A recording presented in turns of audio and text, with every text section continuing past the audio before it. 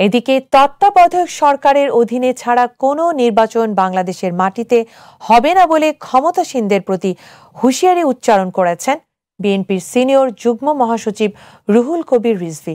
সংবাদ সম্মেলনে এই হুঁশিয়ারি উচ্চারণ করেন তিনি। রিজভি বলেন, চরম অর্থনৈতিক মন্দার এমন পরিস্থিতিতে প্রধানমন্ত্রীর আবারও ক্ষমতায় থাকার সিলমোহরের একতরফা ভাগ বাটোয়ারার প্রহসনে নির্বাচনের জন্য রাষ্ট্রের প্রায় দুই হাজার কোটি টাকা শ্রাদ্ধ করার আয়োজন চলছে।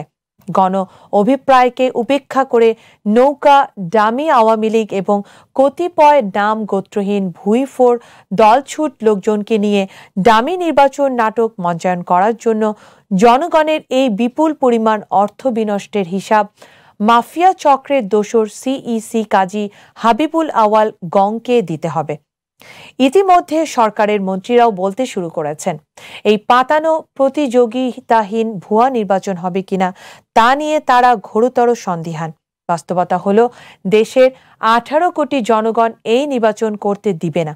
তত্ত্বাবধায়ক সরকারের অধীনে ছাড়া কোনো নির্বাচন দেশের মাটিতে হবে না। এই মুহূর্তে একতরফা প্রতিযোগিতাহীন ভোটারদের সঙ্গে তামাশার নির্বাচনের সার্কাস বন্ধ ও সংসদ ভেঙে দিয়ে তত্ত্বাবধায়ক সরকারের অধীনে একটি অবাধ, সুষ্ঠু নির্বাচনের দাবি জানান তিনি।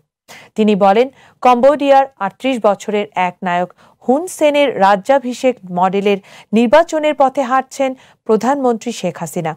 কম্বোডিয়ার যেভাবে বছরের পর বছর নির্বাচনী তামাশার মাধ্যমে স্বৈরাচার হুন সেন নিপীড়ন, দুঃশাসন চালিয়েছে শেখ হাসিনার তার চেয়ে অনেক বেশি অত্যাচার চালাচ্ছেন। কম্বোডিয়ার মতোই শেখ হাসিনা বাংলাদেশের একমাত্র আস্থাভাজন সর্বাধিক জনপ্রিয় বিরোধী দল বিএনপিকে নিশ্চিহ্ন করার ষড়যন্ত্র করছেন।